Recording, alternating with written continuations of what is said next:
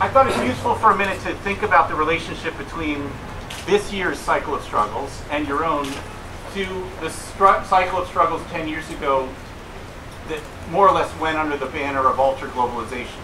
I'm thinking at least the, the struggles, that, uh, struggles that went, cycle of struggles, sorry, that went from November 1999 in Seattle, at least through Genoa in 2001. Now, I think that there's some really interesting differences between them. And the, in fact, the biggest difference, it seems to me, is that back then, 10 years ago, that cycle of struggles was really a nomad, mobile cycle. I mean, what we, what we were doing was primarily going from political summit to political summit. In fact, many people actually moving from one to the other. Um, and constructing, and I think it had a, it, for me, it had a very intelligent purpose. You know, at that time, 10 years ago, there was a great deal of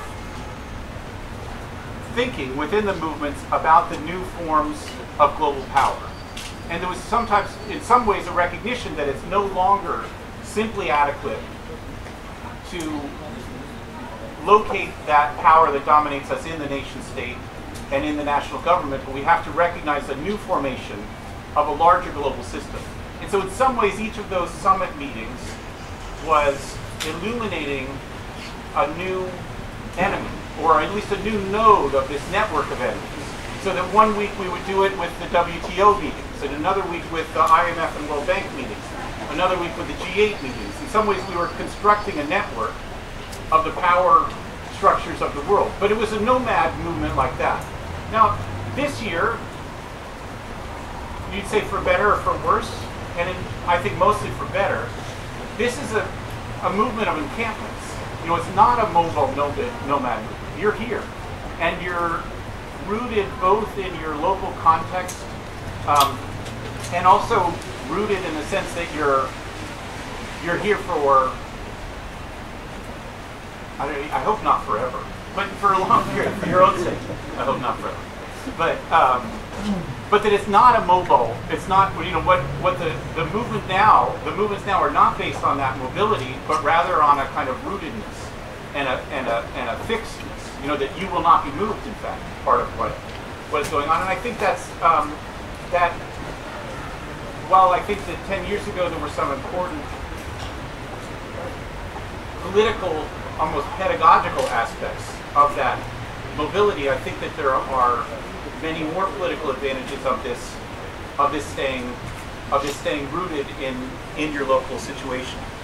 Um, the other thing that I find remarkable about the relationship to the movements 10 years ago is that um, what I was saying before in a way that the political nature of the demands today are more important. Like so, while 10 years ago clearly it was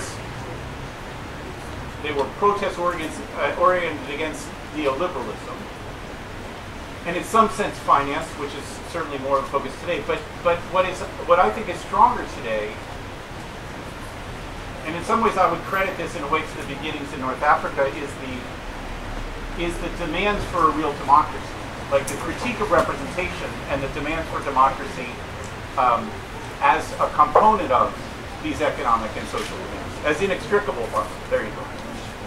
I think like um, like 10 years ago, in fact, we, we today, I think, are building on what was begun 10 years ago about the form of organizing, about the, the democratic organizing or the horizontal organizing, the mechanisms for, for doing that seem, um, seem to me ever, ever more developed, and some things that have developed over the last 10 years.